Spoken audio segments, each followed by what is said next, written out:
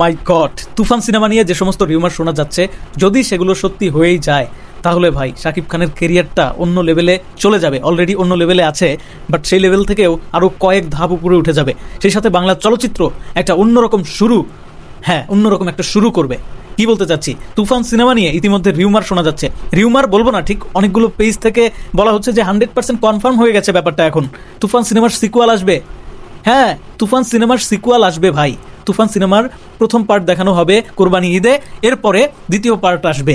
ব্যাপারটা কিন্তু ব্যাপারটা কিন্তু জাস্ট আনবিলিভেবল ব্যাপারটা কিন্তু জাস্ট অ্যামেজিং এরকমটা বাংলা সিনেমায় হয় নাই। এরকমটা বাংলা সিনেমায় হয় নাই।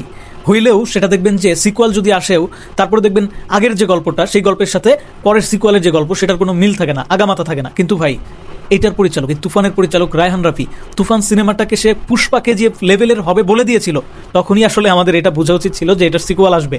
আর হ্যাঁ এখন সেটা কনফার্ম হওয়ার পথে, এখন সেটা কনফার্ম যে তুফান সিনেমার সিকুয়াল আসবে। আর এই কারণেই আপনার লক্ষ্য করে থাকবেন, চঞ্চল চৌধুরীকে তুফানে কাস্ট করা হয়েছে। শুধু চঞ্চল চৌধুরী না, কাজী রাকায়াত আছে। আফরান নিশ্চয় থাকার একটা গুঞ্জন শোনা গিয়েছিল, সেটাকে একদম উড়াইয়া দিয়েন না, উড়াইয়া দিয়েন না। কেন বলতেছি? কারণ যদি সিকুয়াল আসে তাহলে তারপরে থার্ড চ্যাপ্টারও আসতে পারে, যদি সেই লেভেলের হাইপ তারা বজায় রাখতে পারে। আবারও বলতেছি, যদি সেই লেভেলের হাইপ তারা বজায় রাখতে পারে, এখন যে লেভেলের হাইপটা উঠেছে, এই এই যে চ্যাপ্টার ওয়ান চ্যাপ্টার টু এগুলো যদি সফল হয়, তারপরে চ্যাপ্টার থ্রি কি আসতে পারে না? আসতে পারে। আর সেখানে আফরান নিশোও সংযুক্তি হতে পারে, সেখানে চঞ্চল চৌধুরী অলরেডি সংযুক্ত হয়ে গেছে। আর যিশু সেনগুপ্তর কথা বলেছিলাম। যিশু সেনগুপ্তকে নিয়ে হাজারটা প্রশ্ন কমেন্ট বক্সে ঘোরাফেরা করছে যে যিশু কি থাকবে, যিশু কি থাকবে? এটা কি আসলে রিউমার নাকি আপনি কনফার্ম ভাই, এখন তো কনফার্ম চ্যাপ্টার টু আসবে। যিশু সেনগুপ্ত না থাকার কিচ্ছু নাই। চ্যাপ্টার টু যদি আসে শিওর আপনি এটা শিওর থাকতে পারেন যে চঞ্চল চৌধুরী, যিশু সেনগুপ্ত, এদের অন্তর্ভুক্তি কোনো অসম্ভব ব্যাপার না। মূল কথা হচ্ছে, রায়হান রফি এবং তুফানের যত প্রডিউসাররা আছে, সবার একটাই লক্ষ্য, বাংলা চলচ্চিত্রকে হাইলাইটস করা। এই সময় আপনি লক্ষ্য করবেন যে সাউদের সিনেমাগুলো কীভাবে হাইলাইটস হয়েছে, কীভাবে তারা লাইমলাইটে এসেছে। একটা সময় বলিউডের রাজত্ব ছিল। বলিউড আর সাউথ কিন্তু এক না, দুইটা দুই ইন্ডাস্ট্রি বলিউড যেভাবে তাদের রাজত্ব করে যাচ্ছিল, সেই জায়গায় কিন্তু এখন ভাগ বসিয়েছে সাউথ ইন্ডিয়ান ফিল্ম সেই জায়গায় কিন্তু মালায়ালাম, কন্নার, এ ধরনের ছোট ছোট ইন্ডাস্ট্রিগুলো ভাগ বসিয়েছে। কীভাবে ভাগ বসিয়েছে সেটা আমরা সবাই জানি, আমরা সবাই সেটা সাক্ষী আছি।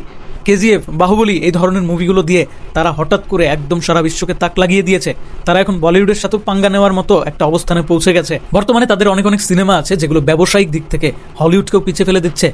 হাস্যকর কোনো বিষয় নয়। কাজেই আপনাকে বুঝতে হবে যে বাংলা সিনেমার ইন্ডাস্ট্রির যে দর্শক আছে, সেই দর্শকটাকে আমরা ধরতে পারতেছি না কেন? সেই দর্শকটাকে বাংলা সিনেমার মেকার্সরা ধরতে পারতেছে না কেন?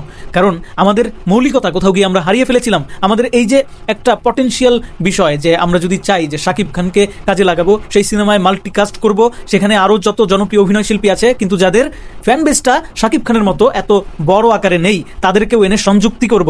সেই সংযুক্তির কারণে একটা বিশাল ফ্যান বেস তৈরি হবে। ফ্যান বেস না শুধু, একটা বিশাল ক্রেজ তৈরি হবে, সেই সিনেমা অন্য লেভেলে পৌঁছে যাবে। সেটার বাজেট বড় কথা না বাজেট বিশ কোটি, বাইশ কোটি, যাই হোক। বিশ বাইশ কোটির বাজেটের সিনেমা দিয়ে একটা সময় একশো কোটি টাচ করা কোনো ব্যাপার হবে না। যদি আসলে পরিকল্পনা ঠিক থাকে, যদি প্রত্যেকের ভীষণটা এক হয়। কাজেই আমার যেটা মনে হয়, তুফান সিনেমা নিয়ে তাদের ভীষণটা এক। চঞ্চল চৌধুরী বলি, যিশু সেন গুপ্ত বলি, বাংলাদেশের শাকিব খান বলি, এদের সবার ভীষণটা এক। কোথাও গিয়ে ভীষণটা হচ্ছে বাংলা সিনেমাকে প্রমোট করা। আরেকটা ছোট্ট আপডেট দেই এই সপ্তাহের মধ্যে।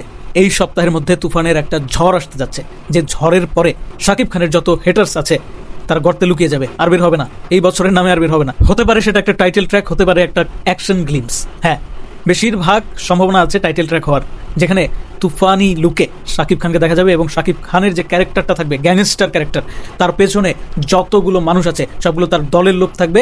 একটা বিশাল ধামাকাদার একটা মিউজিকের সাথে তাদেরকে নাচতে দেখা যাবে চিয়ার আপ করতে দেখা যাবে। ধন্যবাদ সবাইকে ভিডিওটি দেখার জন্য।